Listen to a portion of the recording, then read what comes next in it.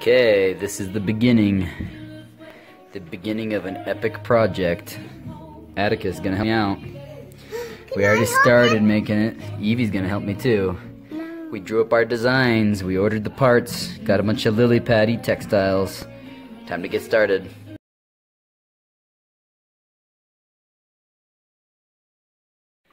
Okay, step one, to make sewing easier, you get a little frame for like cross stitching. So we installed our battery, made sure that we have power. Take a look at this, sure enough. Just to test that we've got power running to it, it's able to light up our LED. So we got power. That's first step. Now let's test to see if we can make it do a basic program.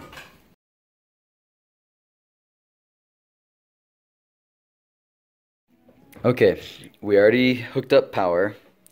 We figured out how to get the battery working. We tried making the internal LED flash. Now we've done some basic stitching here. We took our bank of LEDs and we stitched all the positives together. We ran all the negatives to the ground. And we've got a basic program running with all these. From each port in the sweater that we make, we're going to have about five LEDs. They're all going to be the same type, so they'll all have the same current drop across them. These have slightly different voltages, so they're drawing slightly different voltages or currents, but it clearly is enough to show that this is going to work fine. I was afraid it wouldn't be bright enough with the 40 milliamps that each port can put out, but seems to not be a problem right now.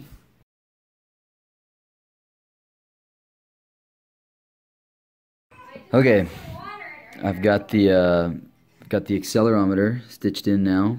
That's connected to the ground of the LED bank. We've got power from the battery.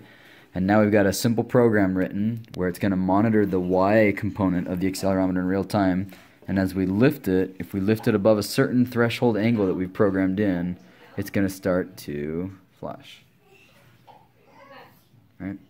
So I've got it tilted up, and that's the trigger for it to flash. When I lower it down again, it's off. And it's running in real time. All powered by the lithium battery right now.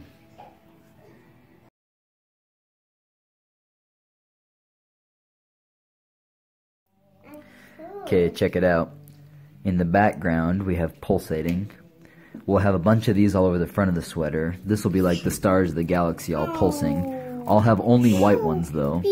And then, when the arm gets raised up over a certain degree, down the sleeve you'll have a bunch of things blasting. They won't all be together, they'll go in a row like do do do do do do do. But for now I've got them just wired together. So we have a proof of concept. It works on this t-shirt with some crappy sewing. So now we need a sweatshirt, and we need to do some legit sewing, and it's gonna be sweet.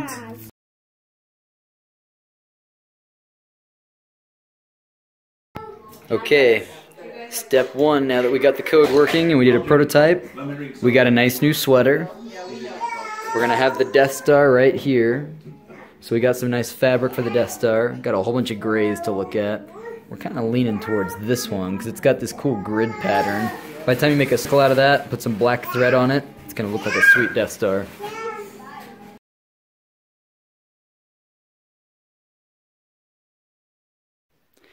Okay, we've got the sweater, we've got a potential Death Star laid on there. What we're to do is we're to take this off for right now. We're just to make this thing, sew it on, and we're to do all the contacts or make all these connections, right? Make all these connections first and then when all that's done, there's going to have a ton of wires coming off it. We'll cover that up with this thing, and we're just going to fuse that on.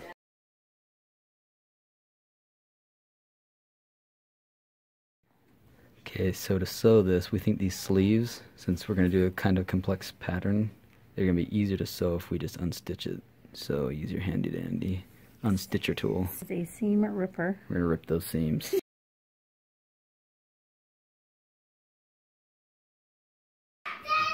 Okay, what we've decided to do first is we're going to holster the battery down here. So this we're going to stitch a little pocket for it. This thing will sit right like there, which will allow us to wire into the positive and negative lines. I've gone through and stitched in, or I've, I've drawn in red and black lines to represent where the positive and negative leads are going to go to power the accelerometer on either sleeve, as well as the, the lines for the LEDs. Yeah.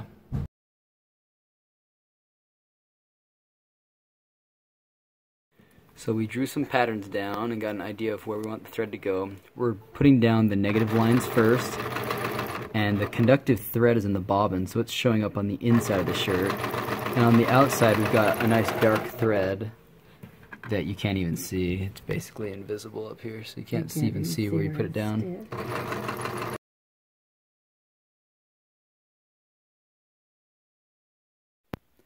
Now, as you're sewing, you're going to need to make sure that your positives and your negatives aren't getting crossed or you're going to short circuit your thing. So for example, here we wanted this line to go through, but it had to jump over another one. So we put down some hot glue and some felt. When I touch it over here, I have contact, right? But that's not shorting over here. It's still over one. So I've got contact where I need it to be, and I've got it short, uh, and I've got no contact where I don't need it to be.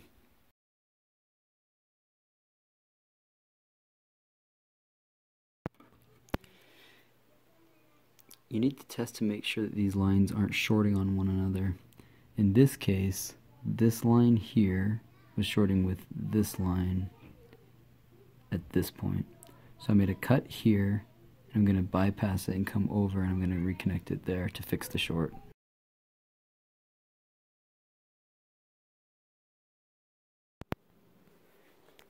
Now that we have the lines running on the inside, I decided it would be easier if I went ahead and I hot glued these into place with a hot glue gun. So these are now in place. I've got them on both sides, running up and all the way down. I need to do the same on that arm over here.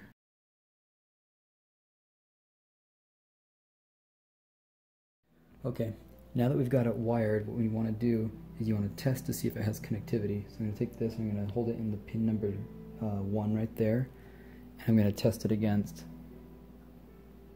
I'm going to test to see if it's connecting.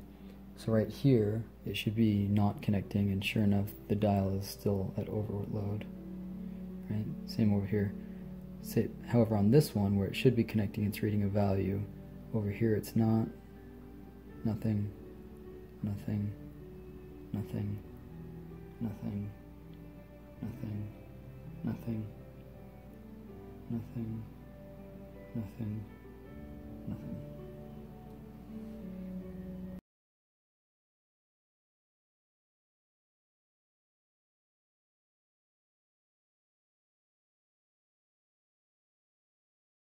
Okay, the copper wire is not the worst thing ever.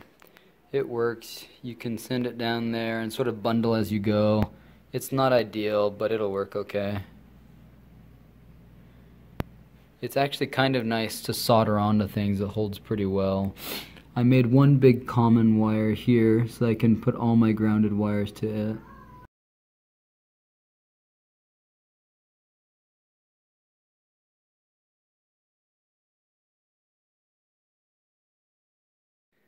Okay, with the arms done, right? These need to be sewed in still. But the arms are both done. Now we can turn our attention to the middle, right? So I hot glued a bunch of these things down, and I've got them twinkling in and out of phase with one another. So some go dim, others go bright. I need to finish these ones, right? I'm using the PWM pins over here. So this is pin uh, number 10, 9, 6, and 5. Those are the four PW pins uh, that I'm using for this. And by tomorrow night, this thing should be done.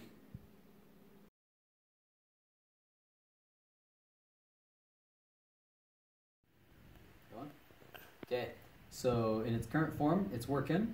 We've got four different sets of lights on the front, which are like the stars twinkling. I still need to put the Death Star on here. And if I raise my arm, I get these things to pulse. Two of the bands of LEDs still need to be sewed on. And over here, if I do the same thing, these also go. And two need to be connected still. These ones need to be connected to the ports, but you can't do that while you're loading the program onto it. If you have both up, they both go one after another. they're both down and normal, neither one goes. And these things go back to twinkling.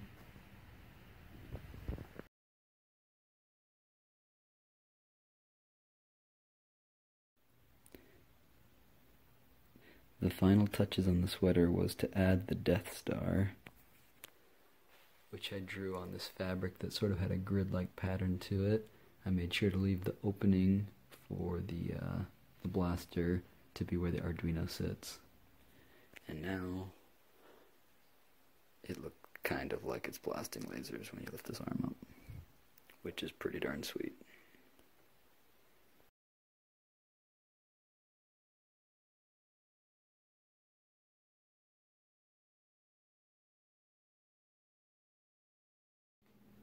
Okay, after making all the corrections, we have the final product. The middle has twinkles. You've got the Death Star with the Lilypad in the middle. I fixed everything. It's a little bit wrinkled up because the tape inside. And when you grab these, lift those up, synchronized, they both now light up in a synchronized manner until you let them down. Okay, Bub, déjalos. And when you let them down, they stop. Thanks, Bub.